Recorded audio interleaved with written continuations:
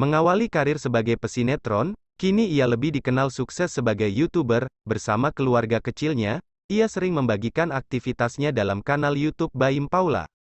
Kanal YouTube tersebut menjadi bisnis Baim Wong dengan pemasukan yang sangat besar, memiliki lebih dari 20 juta subscriber, dalam sebulan penghasilan Baim Wong ditaksir hingga 1 miliar rupiah, kanal YouTube inilah yang menjadi salah satu sumber kekayaan terbesarnya, Salah satu konten yang sering ia bagikan adalah konten sosial dengan membagikan bantuan kepada masyarakat yang ia temui di jalanan.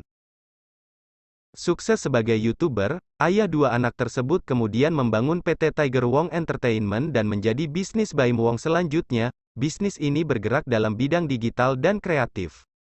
Perusahaannya ini merupakan production house yang menghasilkan berbagai konten YouTube, diperkirakan valuasinya mencapai lebih dari satu triliun rupiah dalam setahun. Bahkan, PT Tiger Wong Entertainment dikabarkan bekerja sama dengan Adia Group untuk melakukan ekspansi bisnis di bidang hospitality, merchandising, F&B, dan animasi.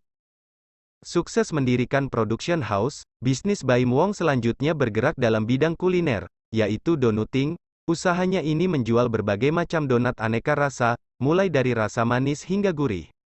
Bisnis donat ini sudah memiliki banyak gerai di kota-kota di Indonesia, dibanderol dengan harga yang kompetitif dan memiliki cita rasa yang lezat, donatnya sukses bersaing di pasaran. Selain donuting, Baim Wong juga memiliki usaha kuliner lain seperti ayam gebuk bapau, Kokoa dan Co, bakmi Wong, dan Wong Bara.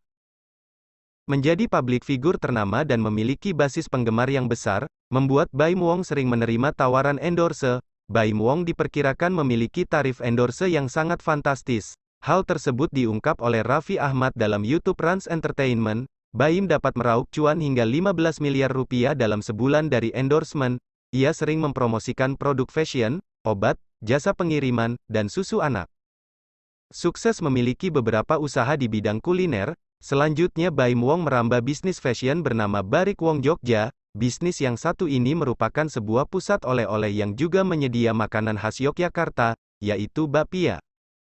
Selain sukses dalam bidang digital platform, bisnis Baim Wong lainnya datang dari bidang animasi berjudul Kiano Lalala. Bisnisnya ini sukses dibanjiri investasi dari perusahaan-perusahaan besar ternama. Dalam serial animasi ini, ia juga menggandeng Vicky Naki dan Sabira Alula Adnan dan bisa dinikmati di YouTube. Bisnis Baim Wong lainnya adalah merilis Liquid Fight yang diberi nama sesuai panggilan anak pertamanya. Menariknya, Produk liquid vape ini hadir dengan rasa es krim stroberi yang merupakan favorit sang anak. Itulah deretan bisnis Baim Wong yang menjadi sumber kekayaan dan membuatnya menjadi salah satu artis yang tajir melintir.